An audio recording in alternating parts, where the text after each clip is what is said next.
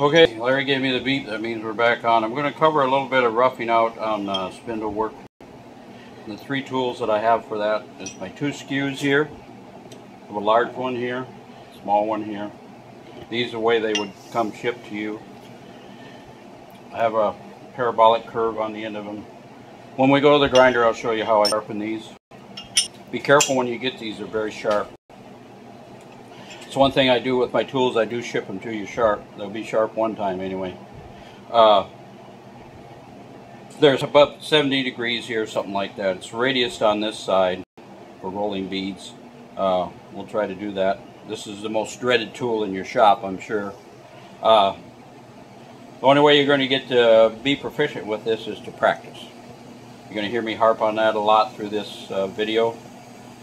Uh, but that's just what you got to do. You got to put in the time. Uh, it's if if you're in a band or if you're an ice skater, if you're a potter, glass blower, don't matter what it is, you still have to practice. And that's what you got to do. And what I've noticed with uh, wood turners, they're the most impatient people in the world. Buy a lathe, buy a couple tools, and they think they're experts. They probably are at something, but you still got to practice. There's a lot of things that go into wood turning you know, the, how the grain is, the way it lays out, which direction it's going. And there's a lot of things that enter into wood turning, and you have to be very concentrated on what's going on. And you also have to wind up being kind of not real tense when you're turning, because whatever tension you put into a tool is going to wind up right here at the business end. So if you're hanging onto this tool with a death grip, that's what's going to happen. It's going to all show up at the end of the tool. So you got to learn to be comfortable with it and just to try to be relaxed. I wouldn't say have a beer or a glass of wine first because bad things can happen then, but the way these are made, they have a tang on the end of them. They're modular. They can go in a handle like this. The other tool that I make for roughing out spindle work is a small roughing gouge. It's made out of solid bar, M42 cobalt, the same steel. Fits in my handles, any of them. We'll cover the handles later in the video. Uh, so we'll get on with it here and make some shavings. That's what we all kind of want to do anyway. Just have a piece of kind of uh, halfway green maple here. This is just about roughing out. Uh, the dreaded skew is probably the one that scared people the most. And if, and if you're having difficulties with that, you just got to practice. I'm going to show you a, a couple three, three or four different cuts here with that. I'll start out with the roughing gouge because it's probably the easiest one to use. I want a little bit of speed here because uh, just I got all these bumps and it makes makes it run smoother. I'm just going to apply this to the tool rest. Go in that direction. I can roll it over to right about there. Very efficient. Uh, there's a lot of big uh, roughing gouges out there. They're excellent tools also. But even with a small one, with the short handle here, it is fairly efficient at taking wood off. But if there's another way that you can get it, rid of it probably a little faster, and that's with the skew. And this is called a peeling cut. It's the same way they peel logs when they're making plywood. And this cut is not just in like this. The cut is up and in.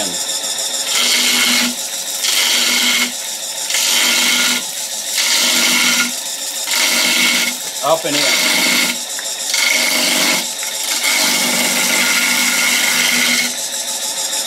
Gonna move my tool rest in a little bit.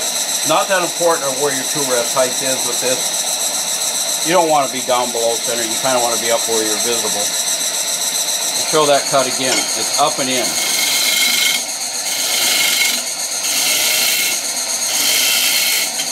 I'm not putting a lot of pressure. The pressure is down on the tool rest.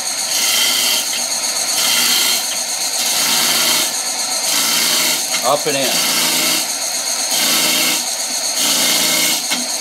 This is a heavy tool. Now you see what I did there, as I finished these peeling cuts, I just switched over to the radius part of this tool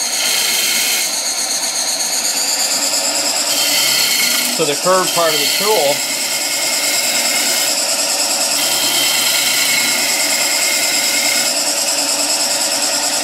You can see I'm not getting beat up, not hanging onto this with a death grip. Got too much stuff over here stacked up. Up and in.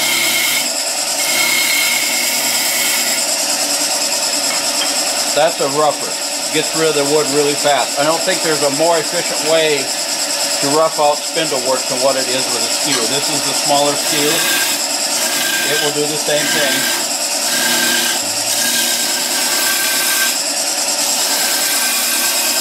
This is a lot of fun. You can go both directions with this.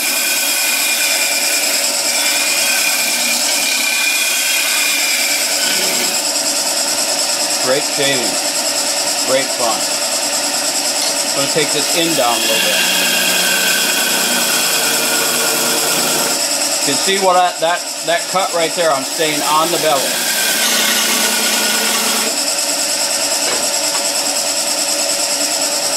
If I go straight in like this, I'm just turning it into a scraper. What that's going to do is knock the edge off really fast. Up and in.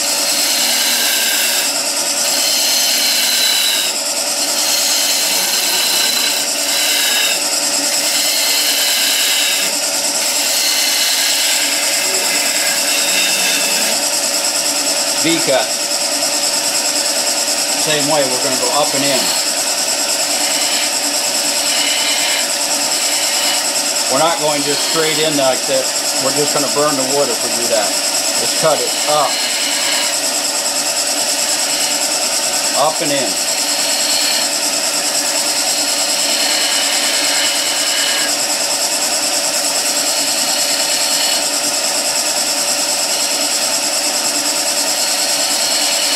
Probably one of the more difficult things to do with this skew is to roll a bead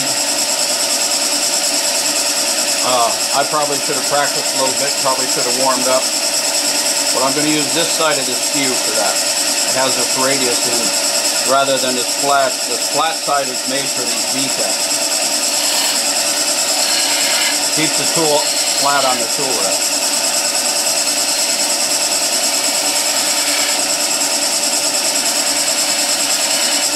Now we're going to try to roll a bead. I'm going to raise the tool rest a little bit, probably get a little bit better view of this I'm going to roll one going that way towards the camera. And you can see my thumb is going to be pretty much what, what's going to do most of the work. As I do most of my work, I use my thumb a lot.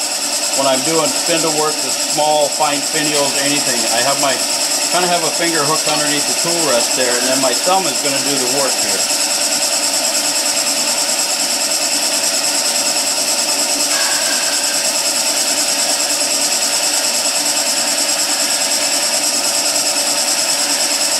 there's a little point at the top of that beam. Don't worry too much about that. Little piece of sandpaper will take that off. If you've had success with that cut, stop.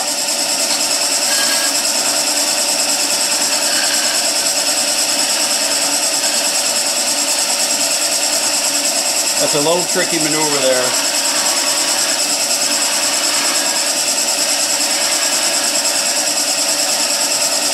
That's how I would roll beads. Uh, there's a whole bunch of other cuts you can do with a skew.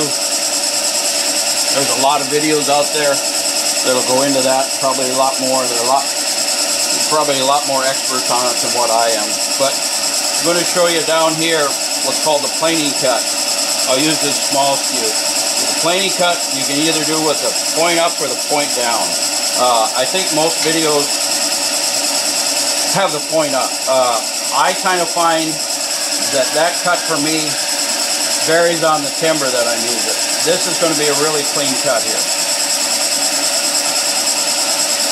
Now that's a long point up.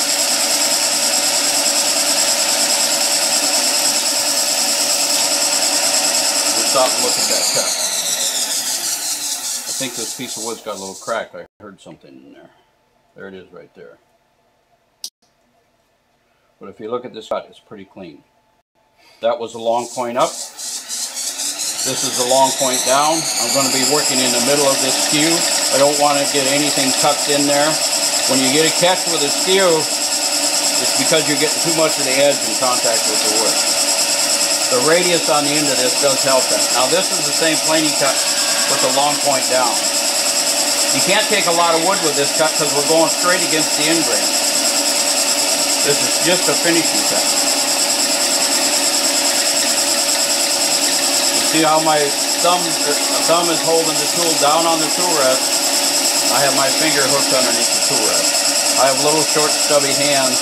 That's why I kind of use these round tool rests. Advantages and disadvantages to the round tool rest. The disadvantages, you can't get it really close to the work. The advantage for me is, is I use my finger under it a lot. If I have a lot of material here, I can't get my thumb under there. And I use my thumb as an anchor a lot. Uh, that's strictly my, my preference. Can you cut this way with it? Uh, yeah, look in.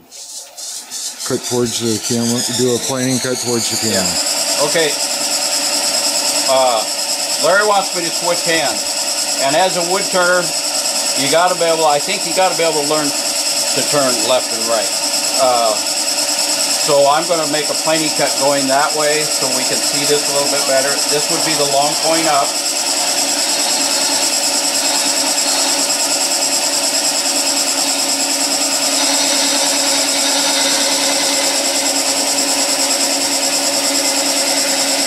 you listen to that cut, we picked up at the beginning of that cut this part right here where this wood was missing. And this is flapping on us. How that lifts up like that?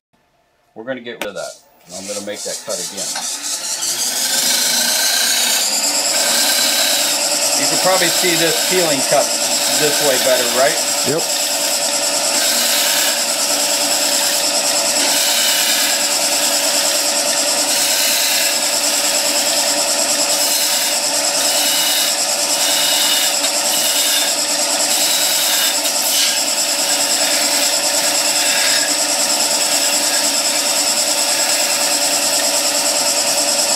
Cut. Long point up.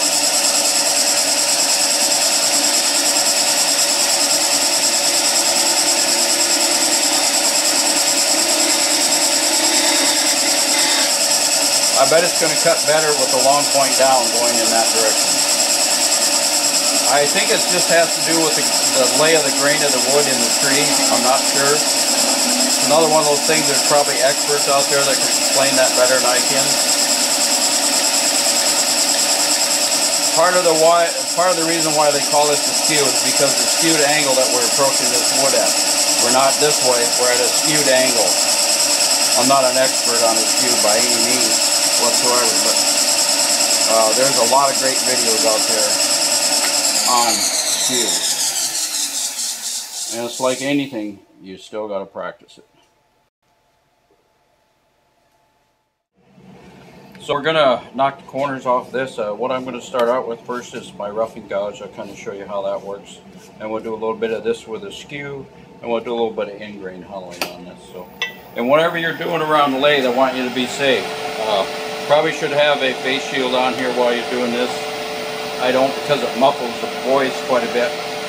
If we get into faceplate work, I, I would definitely be sure to have one on there. So raise this tool rest a little bit. Maybe you can see the tool a little bit more. And what I'm going to do, the grain's all running this way, so I'm going to go this way with that grain. I'm going to take it from the largest to the smallest diameter. Not going to cut right there. I'm just going to raise the handle until I pick up a cut and off the edge.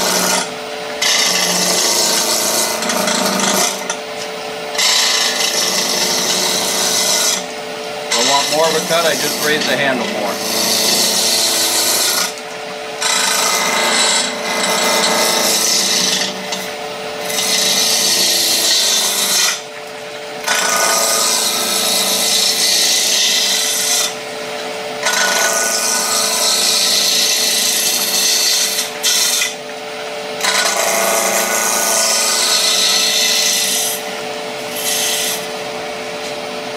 Do some of that with a skew. Got a little bit left right here. This would be the movement. I think uh, probably more fun than Dog.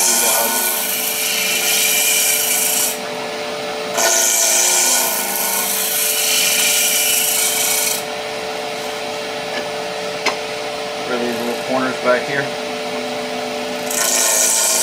Up and in.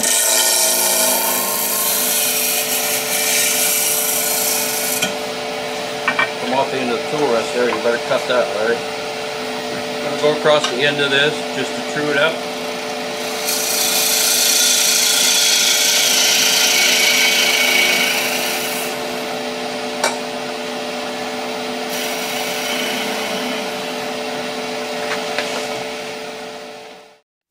So we're back at the grinder. I'm going to go over how I sharpen a skew. We tried this once already, but the phone rang in the middle of it. It was lunch. So we're going to do this again. Uh, this is my small skew. Uh, I like to sharpen these out of the handle. And as soon as I do this, I think you'll see why. What I'm going to do is kind of hold it there with my finger. I have my platform set to the angle that I want. This is a CBN wheel, 180 grit.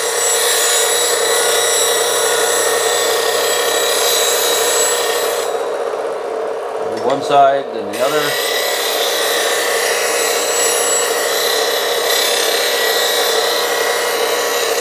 That's about it, as far as the grinder part of it goes.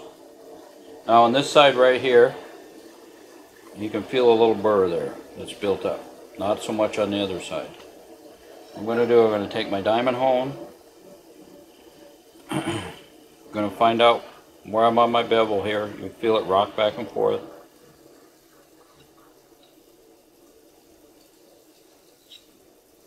Make a couple passes.